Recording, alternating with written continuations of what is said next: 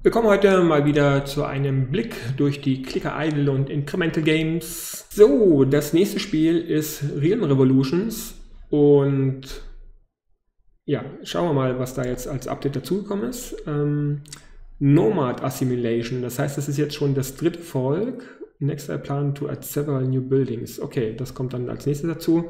Ähm, das heißt, das hier ist so ein Screen, ähm, an dem, wenn ihr die assimiliert habt und Punkte zur Verfügung habt, je Assimilation gibt es einen so einen Punkt, dann könnt ihr hier Boni dazu kaufen.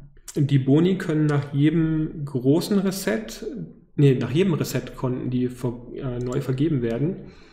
Das Einzige, womit ich mit dem Spiel, also hier bei den 11 Assimilation bin ich im Moment in Step 3, das heißt zwei Assimilationen habe ich mit denen schon gemacht.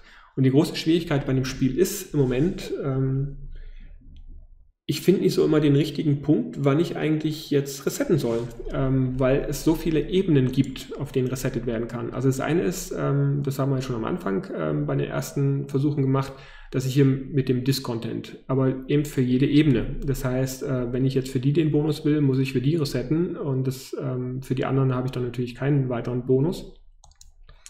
Das gleiche gibt es jetzt hier auch noch für die Army. Ähm, und die Army äh, ist notwendig eben für diese Kämpfe hier, die ähm, hier gegen diese verschiedenen Monster geführt werden. Und diese Kämpfe sind notwendig. Ähm, ihr seht, hier brauche ich noch zwei und von der Cobra brauche ich noch acht. Das Problem ist, dass die sich halt auch jedes Mal deutlich äh, erhöhen. Okay, jetzt habe ich Exponent hoch 17. Mal gucken, wie weit ich damit komme. Ähm, dann gibt es verschiedene Mechaniken, wie zum Beispiel hier die Magic Stuffs. Die kriege ich nur zur Verfügung, wenn ich natürlich das passende Gebäude kaufe. In dem Fall das Masterhaus. Es gibt aber auch ein Gebäude, das schaltet mir Magie frei. Dann habe ich aber eventuell die Magics nicht zur Verfügung. Und, und, und. Also es gibt, gibt ein paar Kreuzabhängigkeiten. Manches am Anfang war Bugs. Da waren Gebäude schon verfügbar, die gar nicht hätten verfügbar sein sollen. Das ist inzwischen behoben. Ähm, es gibt auch inzwischen einen Echtgeld-Shop, ähm, der eben einfach nur Geschwindigkeitsvorteile bringt, indem man hier sich solche Potions kauft und ihr seht ja, ähm, was diese Potions dann letztlich an Vorteilen zu bieten haben. Ist jetzt aus meiner Sicht nicht notwendig, man kann das Spiel tatsächlich einfach so weiterspielen. Das ist dann einfach nur die Möglichkeit, eben den Entwicklern tatsächlich Geld zukommen zu lassen oder vielmehr dem Entwickler. Es ist ja eigentlich nur einer anscheinend. Die Schwierigkeit ist jetzt, wie gesagt, so den richtigen Punkt zu finden, ja, warte ich jetzt noch ein bisschen, weil auch wenn ich zum Beispiel hier die Assimilation mache, gibt es ein Komplett-Reset. Das heißt, dann sind auch alle ähm, Discontent-Sachen wieder weg. Und das macht es im Moment so schwierig ähm, neben dem ganzen Aufbau, weil wenn ich jetzt schon ein paar Tage investiert habe, hier nach und nach die Level, also die Gebäude hochzuleveln, die Leute zu kaufen, meine Army ähm, zu verstärken, so, hier lohnt es sich jetzt natürlich, ähm, die Swordman zu kaufen, weil jetzt der begrenzende Faktor tatsächlich wieder mal das Essen ist. Ähm, weil lange vorher war es jetzt tatsächlich so, also wenn ich die Elfen nicht assimiliert hätte, könnte ich mir die Shooting Range nicht kaufen und ohne die Shooting Range könnte ich mir die Archer nicht kaufen, die sozusagen von den Elfen abhängen. Sie sind auf jeden Fall deutlich günstiger. Ihr seht ja, ähm, die kosten eine 10er Potenz weniger. Deswegen sind die vorher schon sehr hilfreich, um viel Battle Power zu sammeln. Aber ab einem gewissen Punkt, wie jetzt aktuell, wo es sich gerade wieder gedreht hat, beziehungsweise zumindest in dem aktuellen Stand. Weil wenn ich jetzt natürlich wieder Geld ausgebe, so hier als erstes mal eine interessante Strategie, wenn ihr einen von den Stuffs benutzt, die ihr gerne schnell wieder aufgeladen haben wollt, ähm, es gibt hier nämlich einen Restore Charge. Das heißt, der lädt irgendein Random auf, aber natürlich nur die, die nicht aufgeladen sind. Das heißt, wenn ihr jetzt eben so wie ich gerade nur den Food ähm, benutzt habt, den höchsten, den ich hier aktuell nutzen kann, also mit hoch 8, und ihn dann nutze, ähm, dann ist genau der wieder aufgeladen. Also das ist soweit ähm, sinnvoll, einen bestimmten gezielten Stuff dann zu nutzen, um den dann aufzuladen.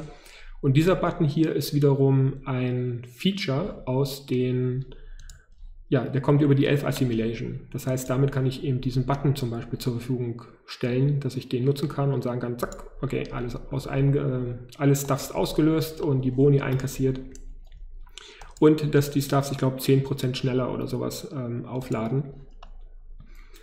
So, jetzt ist hier zu schauen, also ich habe jetzt hoch 31 an Gold, das heißt, die beiden kann ich mir auf jeden Fall nicht leisten. Ähm, das City Walls auch nicht.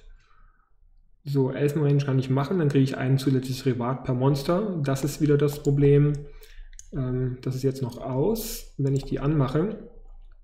Also ähm, hier mit 1 hoch 5, das ist weniger als was ich in einer Zehntelsekunde bekomme. Das heißt, Food ist an der Stelle irrelevant, was im Moment die Boni angeht. Ähm, da gibt es auch Möglichkeiten, das mit anderen Gebäuden zu buffen. Ähm, bei Gold mit 1 hoch 25 ist auch eine, ähm, okay, 5 hoch 25, das ist das, was ich in einer halben Sekunde zusammenbekomme. Ähm, also hier kann ich jetzt den Autocollect machen. Das heißt, selbst mit dem höchsten Monster, die anderen Monster geben entsprechend weniger, lohnt sich das eigentlich nicht, hier jetzt wegen dem extra Reward ähm, die Kohle auf den Kopf zu hauen. So, das andere sind hier natürlich, ähm, bei denen habe ich überall das Problem, die könnte ich mir zwar leisten, aber nur, wenn ich genug Leute hätte. Und genau das habe ich halt nicht. Das heißt, hier kann ich nochmal schauen, ob ich jetzt den Stable kaufe. Dann kriege ich wieder ein Pferd. Mit dem Pferdchen kann ich dann ähm, hier die Anzahl halbieren. Das heißt, ich brauche dann noch 4,3 hoch 11 wo ich allerdings auch noch meilenweit entfernt bin. Also hier komme ich gerade mal auf 1 hoch 11, also auch da kriege ich jetzt noch keinen Bonus, um dann das Food wieder zu erhöhen und so weiter und so fort. Was ich hier jetzt noch machen könnte, äh, ich kann jetzt den unteren hier nochmal aktivieren. Das heißt, äh, die Basis äh, bekomme ich dann mehr. Food vom Fairy Tree bekomme ich 1,63 hoch 5. Das heißt, es sind knapp 10% mehr, als ich aktuell bekomme. Ähm, und dafür aber eben die Hälfte von dem Food aus, also letztlich auszugeben, die ich dann nicht in die Soldaten investieren kann. Aber ich mache es jetzt trotzdem mal ähm, einfach an der Stelle, weil das mit den Soldaten jetzt eh nicht so entscheidend ist im Moment, weil die haben ja eh schon einen ganz ordentlichen Multiplikator dort. So, das heißt, ähm, hier kann ich jetzt eh nicht allzu viel machen, ähm, genauso wenig wie hier. Ähm, die sind jetzt auch alle so am Maximum und die Kohle habe ich jetzt eh schon so weit auf den Kopf gehauen. So, hier ist eine schon aufgeladen. Das heißt, das Einzige, was ich jetzt noch machen kann, ist einfach die Kämpfe durchzugehen. Ähm, mit 1 hoch 17 habe ich hier zumindest ein paar Möglichkeiten. Jetzt kann ich nochmal gucken, inwieweit sich ähm, hier eigentlich die Werte erhöhen. Hm, nee, scheint sich nicht wirklich zu erhöhen. So, dann kann ich hier jetzt schon mal bis 1,16 gehen. Und das ist nämlich so eben die Überlegung. Deswegen habe ich jetzt schon seit einigen Tagen auf den Reset verzichtet und stattdessen eher die Armee ausgebaut, um mehr Armeepunkte zusammenzubekommen, um letztlich ein Reset vorzubereiten für die Elf Assimilation. So, ihr seht ja, die Cobra braucht jetzt noch vier. Das heißt, das ist durchaus erreichbar. Mal gucken, wie hoch ist jetzt, ähm, also es doch, es verdoppelt sich jeweils. Ähm, ich war mir nicht ganz sicher, aber ja, die Zahl verdoppelt sich jeweils. Ähm, und ich habe jetzt nur noch 6 hoch äh, 16. Das heißt, 2 kann ich jetzt noch machen, aber das heißt, ähm, mit dem 1 hoch 17 oder mit dem x hoch 17, was halt vorher da war, sollte es mir auf jeden Fall gelingen, dass ich tatsächlich eben die 11 Assimilation abschließe. Und deswegen mache ich mit euch heute jetzt hier kein Reset, weil ich natürlich dann einfach die nächsten Tage jetzt weiterlaufen lasse um dann die nächste Elf Assimilation abzuschließen. Und erst wenn die abgeschlossen sind, also dreimal muss ich das gemacht haben, dann kann ich, steht mir die Druid zur Verfügung. Ähm, da habt ihr jetzt natürlich nicht den Screen gesehen, sondern nach den Druids gibt es eben noch ein weiteres Volk. Das ist kein normales Feature von dem Spiel, sondern das ist so eine Kompensationsgeschichte, weil er eben ein paar Sachen ändern musste und Sachen zurückgesetzt wurden. Ähm, weswegen ich hier 5000 Ticks bekommen habe und die dienen einfach dazu, das Spiel ein bisschen zu beschleunigen. Äh, Im Moment werde ich die jetzt natürlich hier jetzt nicht aufbrauchen, weil ähm, es sowieso relativ lang dauert. Das lohnt sich eher gerade am Anfang, ähm, wenn das Spiel, also wenn ich jetzt gerade wieder dann mit den Elfen äh, in den nächsten Tagen ein Reset gemacht habe, dass ich dann wieder von ganz, ganz unten anfangen muss, wo ich halt hier wieder überhaupt keine ähm, Boni mehr habe. Also hier habe ich, den habe ich komplett übersprungen und hier habe ich jetzt ähm, dann nach und nach Boni eingesammelt und mich dann auf dem konzentriert. Ähm, ich weiß gar nicht, ob ich den ein oder zweimal auf jeden Fall dann resettet habe, um letztlich den sowieso mit dem höchsten Gold, ähm, zumindest zu dem Zeitpunkt, ähm, dann einfach den entsprechenden Bonus zu verpassen. Das heißt, am Anfang lohnt es sich relativ schnell zu resetten, um eben ähm, vernünftige Discent-Multiplikatoren zu bekommen.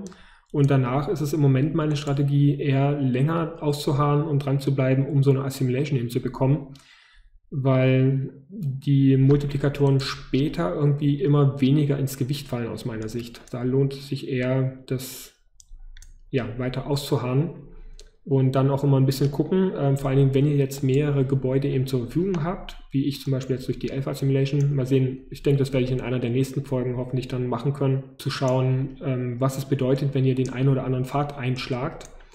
Weil es ähm, zum Beispiel, hier gibt es nämlich die eine Sache mit der Shooting Range. Ich glaube, da gibt es nämlich die Möglichkeit, ja die Cows zu benutzen. Ich glaube, das hatte ich auch in einem der anderen Videos schon mal äh, benutzt.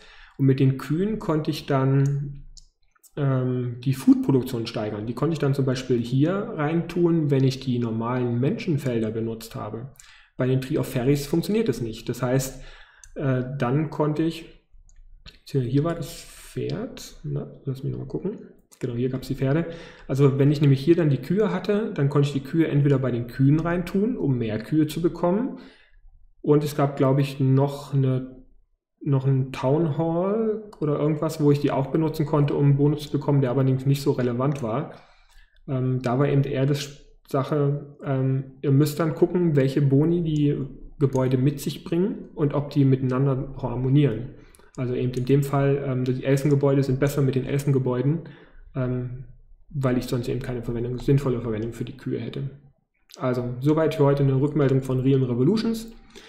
Das Spiel entwickelt sich, es gibt neue Features und ähm, das, die Strategien sind aktuell noch etwas schwierig zu entwickeln, ähm, wenn man nicht einfach nur darauf wartet, dass die Zeit umgeht.